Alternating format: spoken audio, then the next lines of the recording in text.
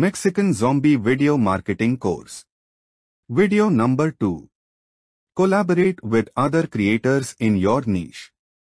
Every niche is full of creators who have different degrees of influence.